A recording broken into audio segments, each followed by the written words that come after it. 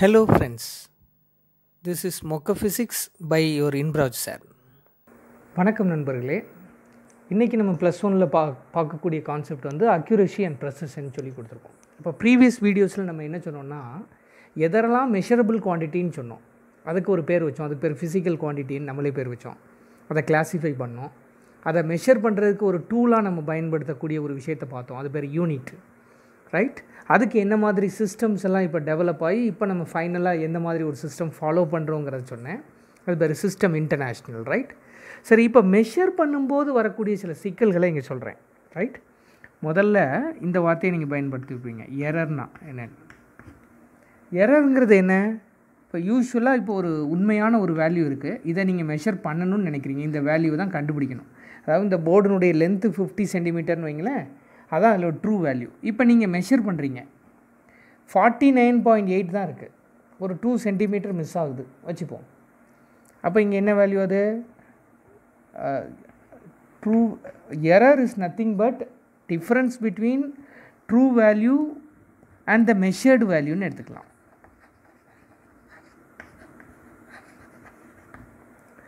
அப்போ ப்ராபப்ளி நம்ம வந்து இந்த ட்ரூ வேல்யூங்கிறத வந்து முதல்ல எப்படி கண்டுபிடிக்கணுங்கிறதே ஒரு டாஸ்க்கு எப்படி சார் இதை அப்போது மெஷர் பண்ணுறதே சிக்கலானது அதில் எரர் இருக்கும் அப்படின்னா எப்படி ஒரு ட்ரூ வேல்யூவை கண்டுபிடிக்க நீங்கள் கேட்பீங்க அதுக்கான பதில் தான் இப்போ இனி வரக்கூடிய இடத்துல நான் எக்ஸ்பிளைன் பண்ணுவேன்.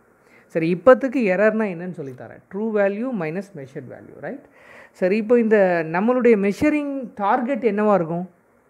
ரொம்ப அக்யூரேட்டாக இருக்கும்னு நினைப்போம். அக்யூரேட்னா என்ன? இந்த மெஷர்ட் வேல்யூவும் ட்ரூ வேல்யூவும் கோயின்சைட் ஆகிற மாதிரி பார்த்துக்கிறது. அதோட இன்னொரு வார்த்தையும் நம்ம பயன்படுத்துகிறோம் ப்ரெசிஷன் சொல்லி இதுக்கு தமிழில் துல்லியம்னு சொல்லுவாங்க. அப்போ கிட்டத்தட்ட இந்த ரெண்டு வார்த்தையும் ஒரே மாதிரி இருக்கே இதுக்கு என்ன வித்தியாசம் அப்படின்னு கேட்குறதுக்கு இந்த படத்தை நான் வரைஞ்சி வச்சுருக்கேன் உங்கள்கிட்ட இப்போ இது வந்து நீங்கள் பார்த்துருப்பீங்க இந்த ஃபயர் ஃபயர் பண்ணுவாங்க பாருங்கள் ஷூட் பண்ணுறவங்க அவங்க வச்சுக்கக்கூடிய டார்கெட் அப்போ நம்மளை பொறுத்த வரையில் இது ட்ரூ வேல்யூ ஓகேயா இப்போ இதில் நம்ம ஷூட் பண்ணியிருக்கோம் நாலு ஸ்பாட்டு நாலுக்கும் எந்த சம்மந்தமும் இல்லை. தனித்தனியாக இருக்குது அப்போ இதில் நீங்கள் எதையுமே நீங்கள் சொல்ல முடியாது. அக்யூரேட்னு சொல்ல முடியாது ப்ரெசஸ்ன்னு சொல்ல முடியாது. அடுத்த படம் வாங்க. இது இந்த ப்ரெசிஷன்னா என்னங்கிறத உங்களுக்கு தெளிவுபடுத்துது இந்த படம். இப்போ இந்த டார்கை விட்டு நான் விலகி இருக்குது நாலு ஸ்பாட்டு ஆனால் இந்த நாலும் ரொம்ப க்ளோஸாக இருக்குது அப்போது closeness to itself is precision closeness to the true value is accuracy right நாலு அட்டம் எடுத்திருக்கீங்க. அது அக்யூரேட்டாக அங்கே எங்கே இருக்கணுமோ அங்கேருந்து விலகி தான் இருக்குது பட் அந்த நானும் ஒன்றோட ஒன்று பக்கமாக இருக்கிறதுனால இதை ப்ரிசைஸ்ன்னு சொல்கிறேன் ஒருவேளை இந்த மாதிரி அமைஞ்சிருந்தால் நாலும் அந்த எக்ஸாக்ட் ஸ்பாட்டோடு அமைஞ்சிருந்தால் அதை தான் நான் அக்யூரேட்னு சொல்லுவேன் இப்போ இந்த கேஸில் இது அக்யூரேட்டாகவும் இருக்குது ப்ரெசஸாகவும் இருக்குது இதுதான் இந்த ரெண்டு வார்த்தையில் உள்ள வித்தியாசம். அப்போ இன்னும் ஒரு முறை கிளியர் பண்ணிடுறேன்.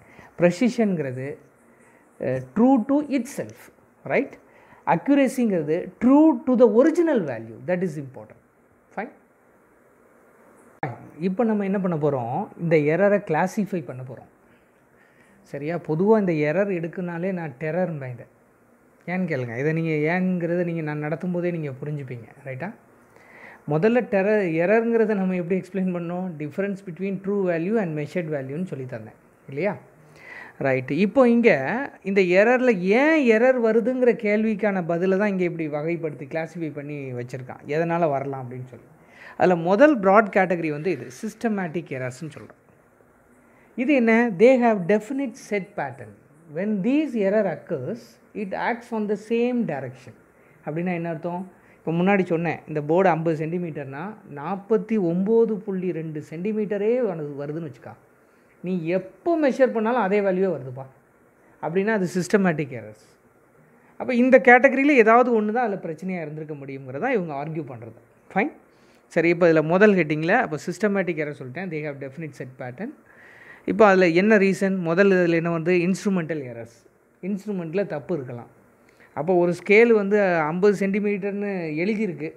அதில் நாற்பத்தொம்போது சென்டிமீட்டர் தான் இருக்குது அப்படின்னா அது தப்பு இல்லை. அந்த தப்பான ஸ்கேலை வச்சு அளந்தனா தப்பாக தான் வரும்.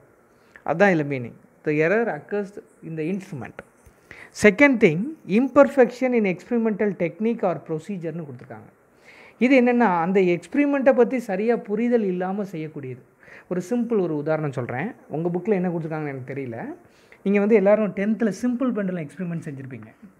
அப்போ அந்த சிம்பிள் பெண்டில் எக்ஸ்பிரிமெண்ட்டில் நம்ம என்ன பண்ணுவோம்னா will be finding acceleration due to gravity formula four pi square L by T ஸ்கொயர்னு வரும். இதில் என்ன பண்ணுவோம்னா ஒவ்வொரு முறையும் இந்த பெண்டலட்டினுடைய லெங்க்த்தை வேரி பண்ணி அது வந்து அதனுடைய டைம் பீரியட் கால்குலேட் பண்ணுவோம். டைம் பீரியட்னா ஃபார் எக்ஸாம்பிள் நீங்கள் என்ன பண்ணுவீங்கன்னா டென் ஆசிலேஷனுக்கு எவ்வளோ நேரம் ஆகுதுன்னு பார்ப்பீங்க. பத்து தடவை இது ஆசிலேட் ஆகிறதுக்கு. அதை வச்சு ஒரு ஒரு ஆசிலேஷனுக்கு என்ன டைம்னு நீங்கள் கண்டுபிடிப்பீங்க. சரியா? இப்போ இதை நீங்கள் டென் ஆசிலேஷன் வச்சு ஒர்க் அவுட் பண்ணி ஒருவேளை இதை மெதுவாக அப்படி ஸ்விங் பண்ணி எக்ஸ்பிரிமெண்ட் எடுத்திங்கன்னா இந்த ஜி வேல்யூ எவ்வளோ தெரியுமா வரும்? சிக்ஸ் பாயிண்ட் எயிட் வரும். அல்லது செவன் பாயிண்ட் வரும். அப்போ உண்மையான ஜி வேல்யூ எவ்வளவு? நமக்கு தெரியும். Acceleration due to gravity's nine point eight அப்போ அது வரணும்னா நீங்கள் என்ன செய்யணும்? இதை நல்ல வேகமாக ஸ்விங் பண்ணணும். இதனுடைய ஆம்ப்ளிடியூடு கொஞ்சம் மேக்ஸிமைஸ் ஆகிருக்கணும் ரைட்டா இது எவ்வளோ கொஞ்சம் நல்லா தள்ளி ஆசிலேட் பண்ணி டைம் கொடுக்கணும். அதே மாதிரி டென் ஆசிலேஷன்ஸ்க்கு கண்டுபிடிக்காமல் if you go for twenty oscillation then the time period will be matches with your then the calculated value will be very near to your true value அந்த கேஸில் உங்களுக்கு ஜி நீங்கள் nine point எயிட்டை நெருங்கிடுவீங்க nine point two nine point four வரைக்கும் வரும். அப்போ இதில் நான் என்ன சொல்ல வரேன் அப்படின்னா இந்த எக்ஸ்பிரிமெண்ட்டை சரியாக புரிஞ்சிக்காமல் நீங்கள் செய்யும்போது உங்களால் சரியான வேல்யூவை நெருங்க முடியாதுன்னு சொல்ல வரேன். கிளியர் இதுதான் என்னுடைய ஆர்குமெண்ட் அப்போ இதைத்தான் அவங்க வந்து அந்த இம்பர்ஃபெக்ஷன் இன் எக்ஸ்பிரிமெண்டல் டெக்னிக்குன்னு சொல்லியிருக்காங்க. இப்போ இந்த டெக்னிக் தெரிஞ்சால் எல்லாம் என்ன பண்ணுவீங்க? நல்ல வேகமாக ஆசிலேட் பண்ணுவீங்க. டென் ஆசிலேஷனுக்கு இல்லாமல் டுவெண்ட்டி ஆசிலேஷனுக்கு எடுத்து டைம் பீரியட் கால்குலேட் பண்ணி சப்ஸ்டியூட் பண்ணிடுவீங்க ஆன்சர் வந்துடும் அவ்வளவுதான். அடுத்தது பர்சனல் எரர்ஸ் சில சமயங்களில் நமக்கு கண் பார்வை குறைபாடு இருக்கலாம். அங்கே ஸ்கேல் ஒரு வேல்யூ காட்டும். நம்ம பக்கத்தில் இருக்க வேல்யூன்னு நினச்சிட்டு எழுதுவோம். த்ரீக்கு த்ரீ பாயிண்ட் ஃபைவ்னு எடுத்து எழுதிட்டு இருப்போம். அது நம்ம என்ன பிரச்சனை? அது ஒவ்வொரு தனிநபருக்கும் உள்ளக்கூடியது. அவங்களுடைய கண் பார்வை குறைபாடு இருக்கலாம். ஏதோ ஒன்று இருக்கலாம்.